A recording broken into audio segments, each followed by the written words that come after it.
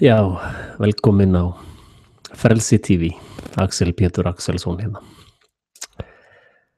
Handritið að þessari íslensku sábúoperu er nú að verða fáranlegra og fáranlegra. Við vitum að þessi atbyrðar á sem er í gangi núna er mest mjög skrifið í sannleikstur í bandaríkjónum eða í höfustöðu NATO eða eitthvað þar. Og það er einmitt mjög gott fyrir mjög gott fyrir fyrirvarandi sábúoperu skrifendur að fá vinnu hjá, hjá hermála yfirvöldum í að halda áfram að skrifa alls konar æfintýri fyrir fólk sem verið streyna að gleipa hvað sem er. En hérna það er bara það er nánast allt að koma fram sem kemur áður en að stóru falskur fáni er framkvæmdur.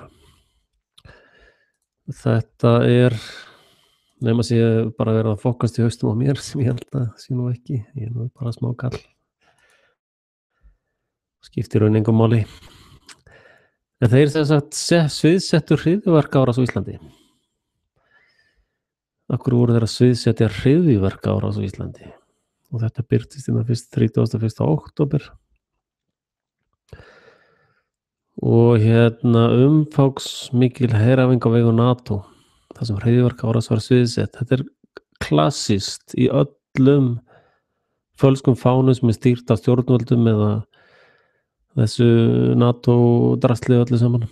Það er alltaf einhver æfing rétt á undan og jafnvel á meðan árásunni stendur. Það er til þess að geta komið hlutum fyrir og hlera slíkt og ég er hættur um að þessi, þetta límband sem var sett í velbísunar haldi nú ekki mikið. En það er svo mikið á vopnum alls þar annars þar að það er skiptað í lengum máli. Og hérna við munum líka eftir heimsóknar seríinni sem búin að eiga þessi stað núna undanfarið. Já hérna klára þessa æfingu. Æfingin er hjá Arleg sjór, sjór, sjór og reyðiverkamann átt að í ED-sprengjum já, já, einmitt. Til að koma stjórn og hver er þessi reyðiverkamann hvað hva, hva heita þeir? Og herrmenn þurftu svo að koma böndum á ástandu og aftengja sprengjunar þetta, þetta leiði bara kúk, alveg bara gjörsanlega geðveikt sko. þetta leiði bara geðveikt sko og hérna sjáðu hvað hermenn, ég var búin að segja það að það væri fullt af herskipum og drasli hérna sveimandi kringu landið. Hérna sjáðu það frá hvað þetta fólk er. Noregur kemur aftur hérna. Þetta er innrásfólk Noregi sannlega og þetta lið er alveg þetta er alveg geðveikt lið sko það, það er bara þannig. Þetta, þetta ástand er bara komið út fyrir allt, allt velsami og alla á skynsemi. Og hérna ég hef náttúrulega lesið svona eða fylgst með svona fölskum fánum og alls konar dýrstæpulegseringum og, og svona partjum sem hafa verið haldin víða um heim yfirleitt með dauða margra margra borgara. Og um, svo hérna ég veit ekki hvort að þessir sápuóperu höfundar hjá CIA er að fokka í höfðun á mér eða hvað er í gangi, svo senda þær hérna fara. Erðu, hérna fyrstu daginn á fyrstu daginn já já, erðu það fundust hérna fara á maurar ef þið viti hvað það sko fara og maurar eru sko það eru faróar sem að sita í Sviss. Þeir eru bara fokkast í hausnum á mér þessir guður sko allt ína bara, fara og mörrar það er að sér panta eitur og svo bara er eitur komið yfir nóttina. Byrja að vara eitra fyrir veist, bara já, það er bara svona. Gerist bara eitt kviss og bang. Þetta er algjörlega sviðsett. Ég get vel verið að henda einhverju maurum hann áður, ég veit það ekki. Þessi maurar eru eru mennlausir og hérna ég fletti þeim nú upp hérna. Svo getur þetta allt saman verið skáldskapur hérna, getur alveg verið maur að séu bara ekki til. Það er allt saman orðið lígi bara og, og kæftaði en hérna gefum okkur þetta sé til. Þá er þetta algjörlega meinlega skvikindi skiptir engum máli. Og uh, svona því ég er alltaf að mm, ég er alltaf að reyna að finna eitthvað út úr samhengi hlutana þar sem er ekkert samhengi og uh, teka fram aftur í hún verið átt fyrir mig með allt þetta sé bara history og paranoia í mér. Það verður langt best ef það veri en ég fór að velta fyrir mér já ok, hvernig hvað sem mögurar, þeir eru ekki skildist á þessu hérna þegar ég var að lesa þetta, þeir myndi ekki vera neitt skadalegir sko þannig að það líka bara fullt á fyrstu dagur og ekki er hlutin fullt af eiturdrasli. Og við vitum hvað skeður á, á mánundaginn sko. Og hérna til þess að æra óstöðan þá hérna. Og hérna svona mér til mér til og Arnar ég sé nú ekki alveg styrlaður þá ætlum ég að vísa hérna í vídeo sem hún Kristján Legard sem er yfirmaður allra fjármála vesturheims. Þetta er aðstimaður fjármála Íslands og Evrópu og Bandaríkjana og hérna þannig að þið haldið ekki ég sé alveg, þið verða að horfa á þetta sjálf bara. Hún, ég skal setja linka á þessu vídeo hérna undir. Hún er að tala um þetta numerologi og hérna hún segir núna ætla ég að testa þekking ykkar í numerologi sem að er uh, svona ví, uh, vísindi elitunar og hérna og hérna já þetta er svo flott hérna setja tíman á þessu. Hérna er hún að leggja saman alls konar tölur og fá út alls konar niðurstöður og, og þetta er svona dullkóti sem þau tala saman á. Og þetta er ekkert uh, þetta er ekkert enga fabulur í haustum á mér ég geti bara hort á þetta vídeo og hört hann að segja þetta sjálfa sko. að sama er að sko hérna talan 33 er rosalega heilug fyrir þeim. Og þetta numerologi er eiginlega að þú mátt eiginlega bara reikna eins og hendar þér best. Þannig er náttúrulega allt bankakerfið reikið og, og allt þetta sem að þetta fólk pælir í er bara reiknað eins og þeim hendar best. Eins og síðasta vídeo sem ég var að benda á að það bara sett debitin og reikningi minn og krediti á Guði og það bara á ég fullt af peningum. Það veist þannig hugsaður þetta fólk. Og 33 á morgun er þriði 11 sem þú markvaldar þrýr sinum 11 og farið 33 og 33 er er sagt, 33 level af Freemason. Og sem bendir á til þess að þessi í þetta er stjórn 33. gráði meðsónari lið, liða eða ilunati og ég vona að þetta sé bara heila spunni í mér. En ég, ég tek bara sömu hundalógik og hún tekur yfir á þetta sko þannig að þetta er ekki svona hugmynd sem bara fættist hjá mér, ég er að taka bara það sem hún var að segja og yfirfæra það yfir það sem er tengt deginum á morgun. Og ég er bara að velta við öllum steinum hvort sem það er rétt eða ránt eða hvort ég get sannað eða ekki sann að þetta er kenningar. Þetta er ekki staðreindir og því miður hef ég hitt nokkuð óþægilega rétt á eins og ég saði útvarpið sögundaginn að það var að vera að selja landsvirkjun og þeir, veist ekki hvert er alltaf að fara í nexlun sko nei, koma hann að það er ekki svóleis landsvirkjun er ekkert að fara veist, þannig ég hef haft ógæslega óþægilega rétt fyrir mér. Og hérna þegar ég fór að skoða þessa maura, ég menna það er ekki til neitt einasta eitur í landinu til þess að drepa ykkur að lási maura. Þá þurft að sér flytja um nótt um helgina þetta eitur. Hm. ok. Þá fór ég velta fyrir mér þetta eitur sem er notaði þetta er hægt að nota það gegn fólki líka? Jú, það er hægt. Þetta er eitrið sem það er vísað í hérna sín ykkur hvað er vísað í þetta og sín, já, termination. Það sem er notað þetta boric acid. Og það er hend livrakjafa ground liver mixed with boric acid mér skildist að þeir eru spreyið þetta eða hvað svo er þessar fréttir hérna svo steiktar sko, bara orðalagið á þeim. Þetta er bara eins og uh, einhver texti frá uh, sábugerð CIA og síðan bara nota Google Translate til þess að þýða þetta eitthvað ok, byrjaði að eitra eitra þetta sérbanda það barst í nótt bara. Varist þá handa eitra um leið það mun að taka nokkra vikur að uppræta möruna. Á vef náttu, já, þetta hlýtur allt saman að vera, náttur stóð já, einmitt. Þetta er rosalegt sko nálega gólfjölum og ég veit ekki hvort er verið að fokast bara í hausnum og vera hvað er í gangi, þetta er hérna mér er svo skrítið að það bara kemur eitur, bara, ég meina hver hver afgreiður eitur? Þetta kemur upp á föstu þá og svo bara sendt eitur. Ég meina, hver, hver er að vinna á þessum tíma? Hérna sem softwarenu var tilkynnt þessum var tilkynnt um málið sko. Já þeir eru þekktir á sjúkarhúsum sæki matvæli. Byggingin sem möðrunni fundist í okkur ekki sagt hvaða bygging það er bara einhver bygging. Annars í eldhúsi, treðsmjávaksti heilbriðistakni delt já, já, mikið verið að flytja.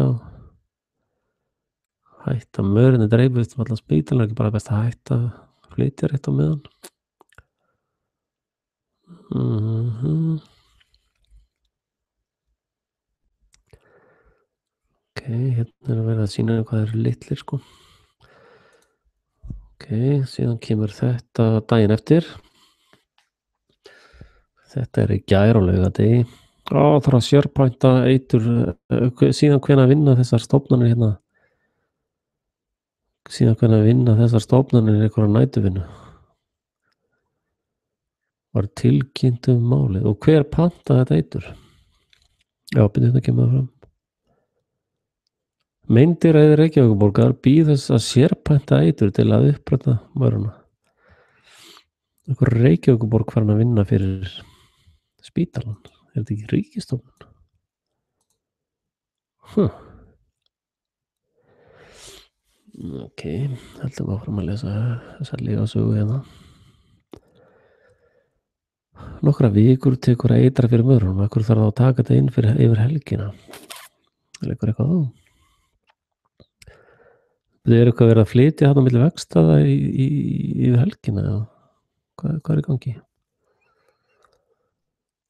Við veit á sjúkráðu sem getum verið búið síkla með þá kemst hann auðvöldlega vegna smæðin, já. Það, ég, ég, hraðalas þetta hérna, þið leiðir eftir mig ef ef ég er eitthvað að bulla einu fyrir enn. Hérna er talað um að þið séu ekkert hættulegir sko. Held að ég hef örgulega lesið það hérna. En hérna. En það er hérna kannski vitni eitt kall. Í New World Order hann sagðist að þeir New World Order menn er ekki ánaði fyrir að allt sem fólk heyrir sé lí þá eru þeir og þeir ánaði sko Já, já. En ok, skýtnum það, ég held að þeir séu mennlausir sko. Ok, svo er hérna bara annar, veistu bara 1, 2 og 3 degi, þá bara komið hérna. Það byrjaði að eitra fyrir farómaurum sem fundust á landsbítalunum. Helgi sér, panta þurfti að eitra utan og barsta til landsins í nótt. Í nótt sko. Um mitt. Hver var að fljúga í nótt með, með frakt? Hver, hver flýgur með það? Hver, hver gerir það? Rannsóna bladamenn sem fylgjast með mér. Hmm. Hvað er í gangi hérna? Veist þar hann hafið eitra um leið. Talaði með að taka nokkra vikur. Hvernig er aftur? Byrjaði að segja hvað þeir eru. Alltaf þegar verið að segja manni saman hlutin aftur og aftur þá er ykkur lígi í gangi. Já, getur verið með öðurskapnum samfélag hundu Erling Ólason. Mikilvægt að útbúa eitrun vel. Er mjög erfið við hérna þess að þeir búa histólanum Til dæmis hjá farmanu geta þau verið langt inn í veggjum eða undir gólfi og eitrið það hefðbunda eitur það næri bara ekki til þeirra. Væntalega þykjarlega eitraða beitu sem þeir síðan draga í búin. Það er ekki náttúrulega brot sem kom upp á yfirbröð og ennilega þetta er ekki náttúrulega. En ekki þeirra þannig að búi geti alltaf áfram að lifa og framlega fleiri mögur. Ekki dugir að úða eitri. Já, byrjum við. Ekki dugir að úða eitri til að losna við þá. Það getur gert illt verra. Voru til þess að dreifa mörnum yfir örugari og óaðgengileg fylsni. Já, ok. Það er stundum þannig að þegar svona vonlaus eiturhæfrið mislukast þá getur það bara komið róti og dreift þessum öðrum sem fyrir eru. Þeir geta bara farið víðar. Þeir geta flúið á staði sem eitrið er komið. Rósalega þetta klára mörar.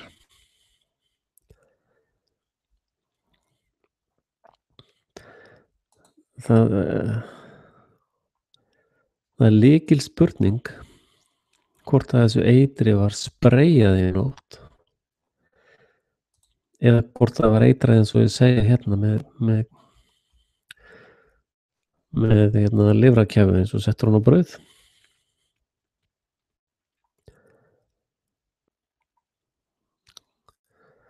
Það ég sé ekki þetta sé neitt sem að kallar á einhverja nætursendingar á eitri. En ef við höldum áfram að skoða þetta boric acid sem að hefur þá komið vandala nokkur tonna við nótt, nei, ég veit það ekki. Það er fann að fýblast þetta þessu sábúopur og þessu fáraleg og hérna ég fór að velta með mér er þetta að nota þetta eitur á fólk? Og svarið við því er já. Það er hægt. Það þarf ekki að blanda mikið til þess að til þess að nota, já hérna based on mammalina með eitthvað lethal dose. Það 2,6 milligram á kíló á líkamsþyngd. Það er eitrað það er semst borðað eða andað. Þá veitum við það, það er þetta að spreja þessu yfir almenning á Ístaföldu eða hvað sem er. Merkjá, þið veitum nú hver þessi er. Þetta er hérna stæðsti Livia glæbónin ekki? Nei, þetta er ekki, þið er ekki að tala um það, já, fyrir ekki Aja, ég er bara búið til þessu kenningu hérna á meðan ég lesa þetta, þau er að fyrir ekki að með það. Þetta er ekki Livia fyrirtæki, þetta er bara indexin og hérna, en aðalpointi sem er að segja þetta er baneitra fyrir mannfólk og það er hægt að spreyja því við fólk. Og hérna það var það sem ég hafði ágjur af. Ef það væri hægt að nota þetta í slíkum tilgangi. Og hérna það er semst hægt. Það er verið að flytja inn eiturvopn um miðanótt til þess að eldast ykkur að maura á Íslandi. Ég sagði nú í grín á hann að allir, næsta frétt verði ekki þá bara fljúandi úlvaldar í uh, eh, Ríkisútarpshúsinu hefur fundist þar á kaffistofu. Þar séður fljúandi eh, undir loftinu í, í kaffistofunni. Og uh, þess vegna verður í nótt fluttinn tölverta stýriflögum til þess að taka þá niður. Það er búið að panta 50 gáma af stýruflögum til þess að díla við þetta vandamál. Ég meina, hvað, veist sko, ef, að- einn af þessum atvöpurðum væri stakir þá er ekkert grunnsalegt við þá. Ekkert sko og ég myndi aldrei setjast niður og gera vídeo um einhverja maura í landsbytalan ef að það var ekki samingi við eitthvað annað og það var ekki flutt hérna um rauða nótt með einhverjum furðulegum flugvölum það vita allir að ríki vinnur ekkert svona hratt út af einhverjum fáranlegum maurum sem er að þvælast í staðar. Og það er ekki að segja með það. Að ríkis, ríkis uh, starfsmenn séu svona fannar að seint á föstu þeir bara já, hægðu, hvað hvaða flugvélar er í gangi í nótt? Við erum að fá hérna eitthvað eitur og vinna hérna um helgina. Glemdi því. Ég hef vunnið hjá ríkinu það virkar ekkert svo leið hjá ríkinu er það bara veist, já, hjá ríkinu er það bara herðu, já, já, það má alveg fresta þessu frá mánda það er ekkert andál líkur ekkert á einu eða neinu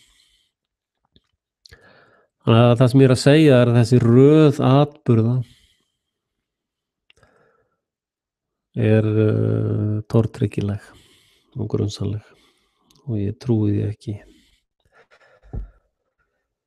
Ég trúi ekki að séu fljúandi úlvaldar út um allt Ísland sem að réttlæti innflutning á einhverju stýraflögum annars veit maður ekki. Það er víst reyðiverkamenn hérna það eru reyðiverkamenn að setja svona IDE sprengjur. Það er með eitthvað linkur, ég var ekki búin að sjá það. Nú, það er Næs Nú, bara kafarar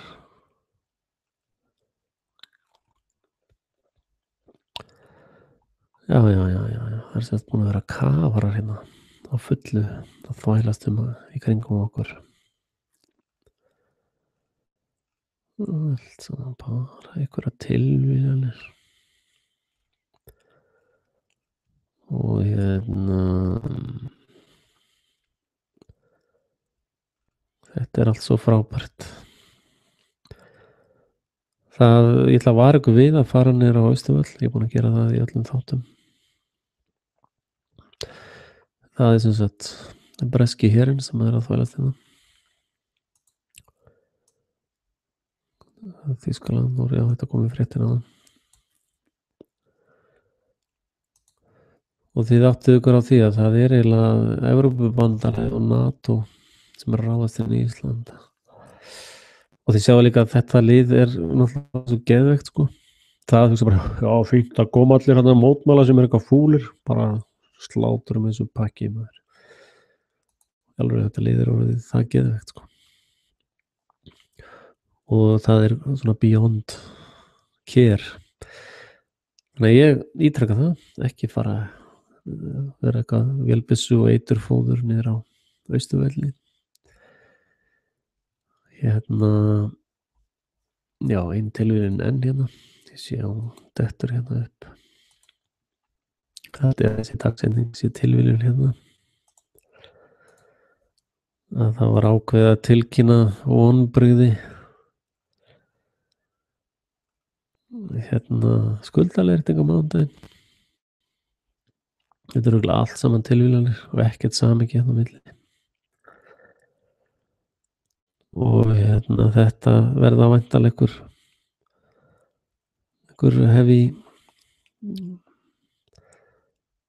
þetta verður væntalega einhver hefi vonbreiði.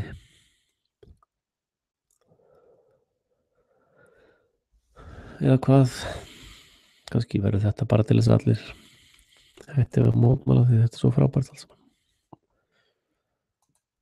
Og hérna þá mun vera hátíð hérna hjá Frelsi TV ég hafi haft kól, kól rátt fyrir mér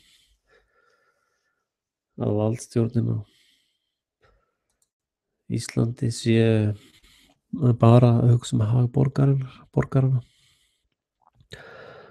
og þeir hafa engin eh, vond plön fyrir almenning á Íslandi. Þá er ég ánæður ef ég hef rátt fyrir mér. Og ég vona svo sannlega að það sé svo leiðis en ég er bara því miður. Það í mínum huga er of mikið að tilvílunum of mikið að atbyrðu sem að stílast inn á þannig einanda svo til að eðalega helgina fyrir mér þá margvald að sá dagur upp í 33 sem er bara svona ekstra pyrringur fyrir okkur paranoia samsæringa. En hérna þetta er minnstur sem að þekkt frá 9.11 frá 7.7 frá Sandy Hook Boston Bombing bara you name it það er alltaf ákveð munstur í gangi. Alltaf ykkur að heyra á engar það byrja að raðast upp atbyrðu sem enginn botna neitt í. Og þetta ögrun, espun ef ég kalla það provokators eru meðal mótmálanda þeir eru nota á, á samfélagsmiðlunum til þess að fá fólk á staðin þetta er þekkt úr egipsku byltingunni hérna í Líbíu var notað það sama. Á öllum stöðum var var raðað svona alls konar atbyrðu minn sem að gerði fólk alveg brjála þannig að hópaðist út á göttunar og sami í Úkraníu þið vitið öll sögun um Úkraníu ég ætla ekki að fara yfir hann aftur hérna. En hérna ég kaupið ekki að þetta séu allt saman bara eitthvað tilvílanir og þetta séu allt eitthvað svona bara það bara hittist svona á einhvern veginn. Ég kaupið það bara ekki. Og hérna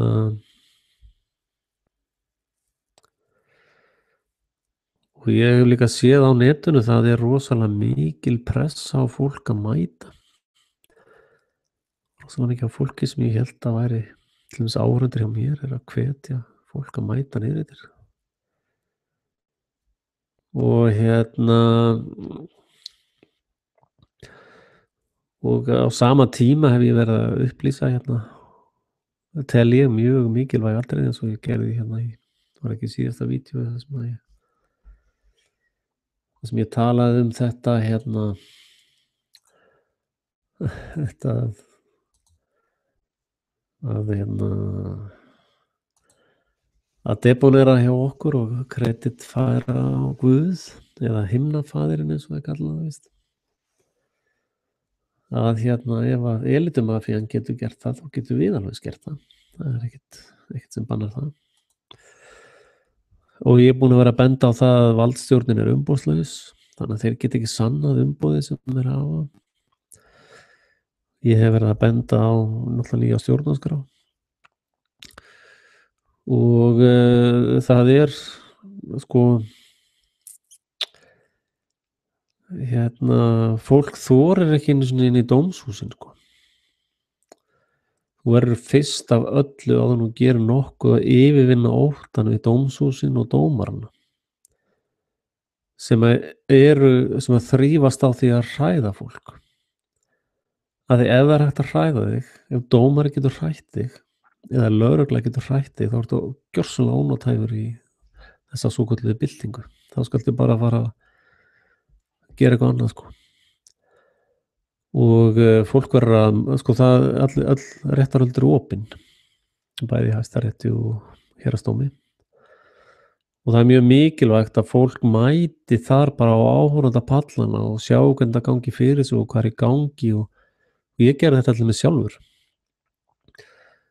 Og hérna og var lengi lengi í alls konar réttaröldum satt svona aftast þannig bara lítið bara á mér. Og ég man eftir bara fyrst skipti sem kom inn í dómshús var hjarta bara og þetta er allt saman hann að svona skeri sko.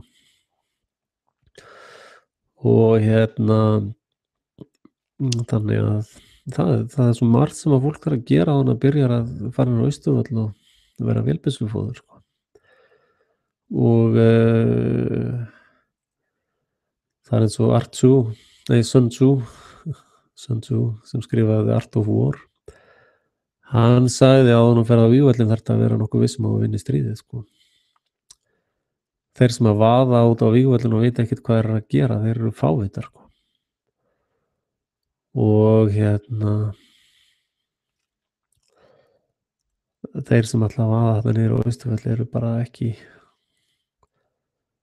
eru bara ekkert að le lesa neitt í stöðuna sko. og hérna því miður er hrættur um að margir munu já ég hef illan ílt sens fyrir þessum atbyrðum sem er að gerast núna og hérna ef að menn halda vélbi sem það sé eitthvað farnar í burtu þá er þetta nú bara svona PR trikk að þykast hafa sko tollurinn eða lauruglun er sama apparati sko. Og þarna, hvað heita landelgiskeslan þetta er allt saman sama mafían sko. skiptir einhver máli þú tannar hefur sett límband á hjá hinn breytir einhver, meirins að geta þetta verið sett upp sko. Að ég tók eftir í frettina og sagt hvar þær voru einsiglaðar þannig að eflustur verið að fá, reyna að fá ykkur á Íslandi sem eru mjög tæpir á tauginu til þess að fara og brjótast inn og taka þessu og þá er bara komið stríði sem allir er að býða sem að þessir aðalega vilja að fá. Þannig að ef það ætlaði að gangi í allar þessar gildur þá get ég bara ekki hjálpað ykkur því miður. Því verður bara taka ábyrð á því ég ætlaði að lafa í gildur það er búið að vara ykkur við ég er búin að vara allar við að þetta er, lítur út eins og gildra ég var búin að hækka líkunar upp í 98% á þetta var í gildra. Og ég stend við það, ég var endur að spá ég að hækka það í 99% en það láti 98 dögum og hérna þetta er líka að gerast hérna í Nóri ég er í sambandi með hérna yngunni Sigurstóttir til dæmis. Og fleira fólk sem er að vinna hérna í Nóri líka og uh, það er fólk að vakna í Svíðjóð og Danmark og allstaðar í heiminu náttúrulega bandarækjum er rosalega mikið að fólki vakna þar. Og hérna ég ætla að nú hafa þetta bara stutt það komir hálftími. Stutt hjá Axel, það er afstætt hugtak.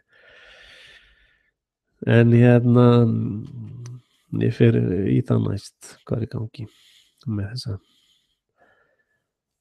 með því að alls konar lutur í gangi. Það er alls það fólk að vakna í heiminum. Og flestir eru sko elitu mafían, það er bara spurning hvað er ná að drepa marga og hann er verða jafnaðir sko. Og eh, eins og ég var að segja ykkur um daginn á Gaurin hjá Nestle, hann er með 21 miljard í mánuðalögn og eh, þið þurfa áttökur á því að fólk sem er komið upp í svona störlun það, það er bara veist, pæltið í sjálfur að þú var með 21 miljard á mánuði lögn og þú farir náttúrulega ekki að komast á þannig staði að veri þannig launin á nú ég meina móður Teresa hefði aldrei fengið þetta jobb til dæmis. Og hérna þannig þarf þetta að vera ákveðin típa til þess að komast í svona stöður. Og íslenska elitumafían er í alls konar svona stöðum. í Afganistan, NATO um allt og, og þið vita það að í íslensku lögum þá hafa friðagjastlu liðar saminuð þjóðana rétt til þess að vaða inn í landið það er lagalega búið að ganga frá því þannig ef eitthvað gerist hérna. Og að það er ekkert sem að það er langu vegar á milli þess sem gerist í raunveruleikunum og hvernig það er spunnið í fjölmiðlum sko, CNN og þessum strísáröðus fjölmiðlum sko að það, það kannski springur sprengja eða, eða er dreift gasi og það er bara sett í þetta eldgósi þá koma það vindkviða og setti það er bara allt allra lígar heimsins notaðar. Og hérna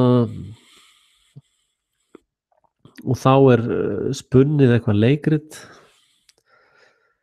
Og því miður þessi, þessi sábúbrur sem CIA skrifar ekki einu trúverðu var sko og þá er komin réttlæting fyrir því að freyðigjastliðar saminuð þjóðan að vaði bara í landi sem eru bara hermenn og eru dæmdir fyrir eh, aðheld að þjóðarmorði í Kosovo þannig að þessir friðar gæslu liðar er engir englar sko.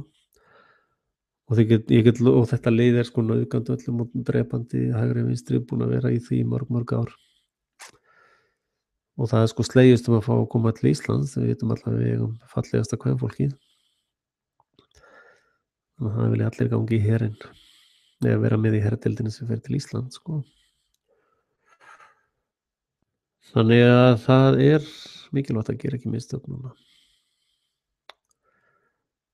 Því miður ég með það ég fór að þannig á Östufell og þetta er ákveðin stemming og fólk var eitthvað útrás og eitthvað en það þarf þá að gerast í réttu saming sko. og um, en svo er náttúrulega minna, þó að enginn mæti og ekkert gerist þá getur vel verið þeir sviðsetið það samt sko. þeir þurfi ekki náttúrulega 200 manns til þess að 100 manns til þess að sviðsetja eitthvað sko. þannig að það þarf ótrúlega að fá til þess að setja allt í háaloft og villis sko.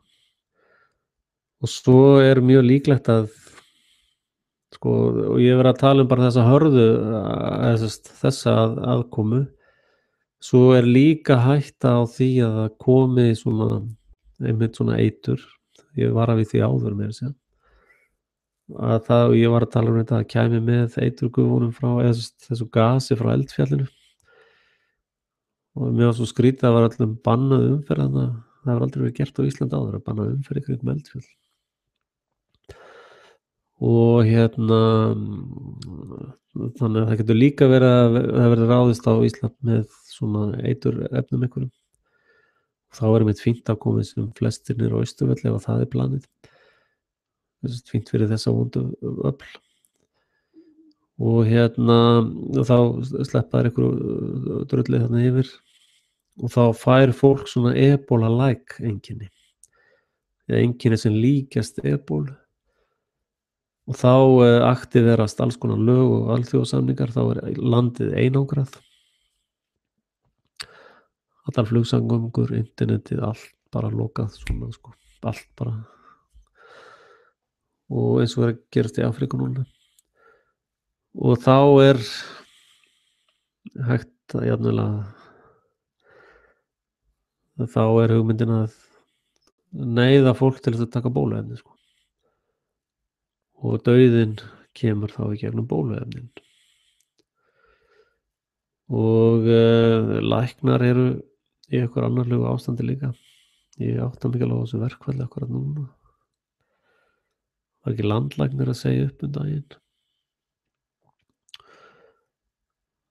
Þetta er eða það getur svo sem vel verið að svona margar tilvægni bara ræðist upp. Þannig að ég veit ekki. Kannski er ég bara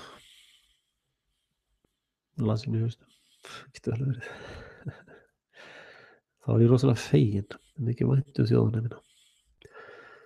Og ég vil ekki sjá svona stríðsdrasli kringum okkur. Og hérna maður veit aldrei. Sko þeir áttu ykkur líka á því þetta uh, New World Order lið þólir ekki fólk með sjálfstæði og Íslandi hefur örgulega farið í tögðan aðeins sko. Og svo er líka skríti hvað ég var að nefna, nefna á hann hvað röðust inn sko Bill Gates sko með NATO herfóringi og svo annar NATO herfóringi og svo allt inn og kemur í baka og já, já það var hérna heræfing bara. Já. Og svo bara löggun allar komið við hjálpis og glemt að segja kongaði prest frá því sko. Og bara svo bara komið eitur henni til þess að drepa einhverja smámura á landsbytalanum og það er verkvall og, og það er standustleis áróður bara allt dælt í, til þess að trilla og espa fólk núna. Og svo bara já komum allir á Ístafell og, og auðvitaðrækisræðan búin að vera að þælast hann í Ukraínu svo grár köttur þar að sjá hvernig þetta er gert. Og hérna ég ætla líka að segja ykkur eitt það er oft þegar svona greiningar koma fram eins og ég verið að leggja fram það hefur stundum stoppað aðgerðir.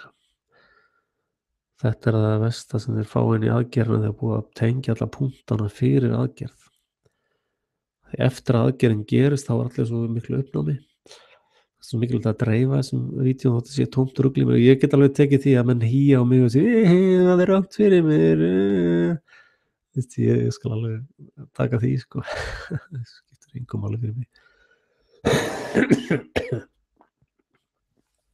Það fyrir ekki.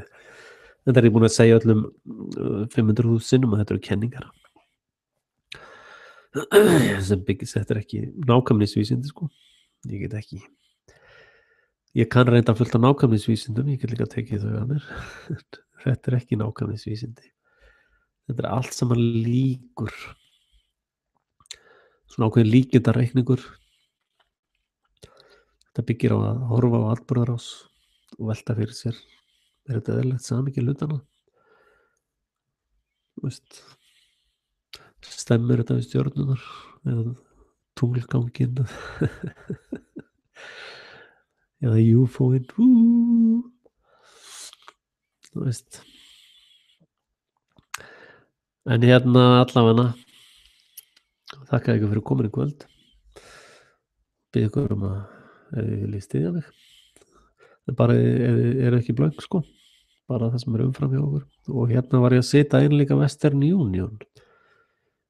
Einhver var að segja ef maður hefði ekki kort var ekki að nota þetta Paypal sem ég verið að vísa á. Ég hafði nú bara ekki hugsað það. En þið getið farið á bara í landsbankan það þjóðþrefa fyrirtæki. Ég er kannski neitt að taka framlöft í mín ég veit það ekki, við að stela því að leiðinni. En hérna fyrir neðan er leiðbynningar um Western Union. Þið sýta bara nafnið og, og staðin sem ég er á. Svo sendiði mér í Facebook skilabóðum eða einhverju skilabóðum eða tölvupostið eitthvað. Sendiði mér líkilnúmer sem þið fáið hjá Western Union. En takk aftur fyrir komuna. Ég verði sennilega með þátt á morgun og hérna eða kannski já ég veit ekki, ég reikna með að vera með þátt á morgun. Og hugsalega tekið innringingar á morgun. Ef ekki bara stefna það þið ringið inn á morgun. Og við, ég verð þá hérna eftir að vinna á morgun. Takk fyrir komuna. Vonum að ég hafi rámt fyrir mér með þessar pælingar mínar. Byggðuð að blessa og varveita Ísland og Íslendinga Skål.